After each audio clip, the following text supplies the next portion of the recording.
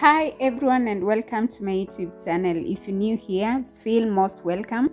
Make sure you subscribe, like the video, comment and share. Today we're going for a house hunting in Machakos County and that's where I have just alighted. This is Kenya Israel Estates and from here to town it's around 5 minutes. So let's go and see how the houses looks like hope you'll this is how the first house looks from outside. So let's get in and see how the rooms are. Wow. Personally i like this setup because the parking is big enough. We have the caretaker room there. So if you like what you're seeing let me know on the comment section. So let's open the room and see how it looks like once you enter into the house this is what you see. It, uh, this is the sitting room.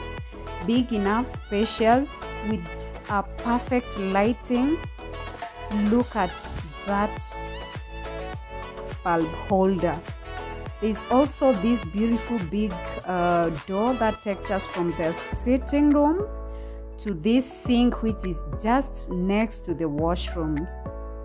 It's, it has some water and there is this big mirror where you can look at yourself. Wow. From the sink we head to the washroom. That is uh, sorry the bathroom which is big enough fitted with tiles. And that big window over there. There is also that curtain there. It looks so good from the bathroom we go to the toilet area where you have your loo there's that window that curtain where you can place your tissues. And yeah it's so nice. From the washroom area we head to the kitchen and this is my favorite place. I love and like being in the kitchen because i love cooking. These are our cabinets there are some shelves there where you can keep your utensils keep your anything you're shopping anything you want. Remember once you pay for a house it's up to you to decide on how you're going to arrange it.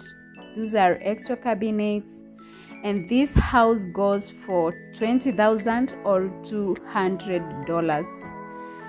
This sink has some water meaning there's no water shortages here there's also this big window that takes us outside and this door. This is how the balcony looks like. It's a very green area very quiet area where security is tight. Let's head to the first bedroom and see how it looks like.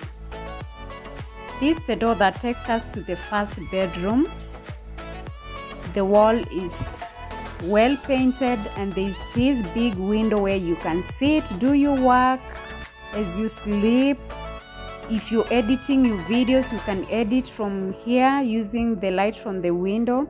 And these are our closet so let's open and see how the inside of uh, the inside looks like. It looks nice. Hope you are enjoying this video. If you've enjoyed so far give the video a like.